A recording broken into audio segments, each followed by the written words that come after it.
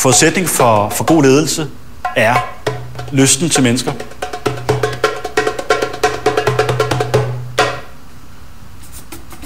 Jeg tror ikke, jeg kender nogen kultur, hvor der ikke findes ledere.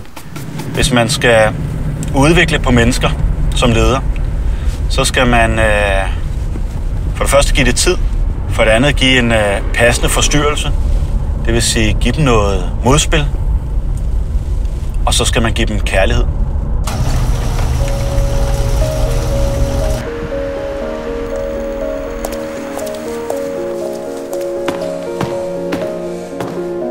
Noter til ledelse.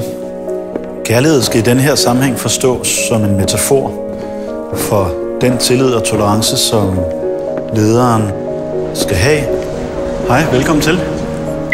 Mennesket er kompleks, og den kompleksitet, den skal man som leder have lyst og glæde ved at gå på opdagelse i. Siger, lige nu er jeg i en situation, hvor vi bliver inspireret, og så bliver vi inspireret af det, og så bliver vi inspireret af det.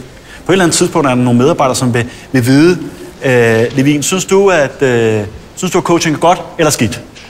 Ikke? Jeg har et spørgsmål. Hvad nu, hvis en medarbejder ikke vil udvikle sig? Ja. Jeg hørte om en medarbejder, der sagde, jeg har ikke lyst til at udvikle mig, jeg har bare lyst til at være.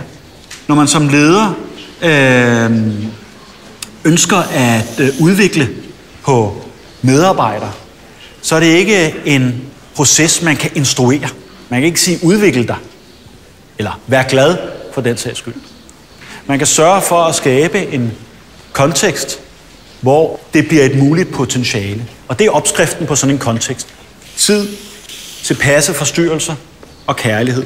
Og særligt de tilpasse forstyrrelser er en udfordring, fordi de kræver, at lederen er rigtig optaget af at lære sine medarbejdere at kende. Mennesket er på en og samme gang et socialt væsen, der trives i grupper og vokser i grupper, og samtidig et behovsstyret væsen, som er sig selv nærmest. Og det er derfor, ledelse er nødvendig.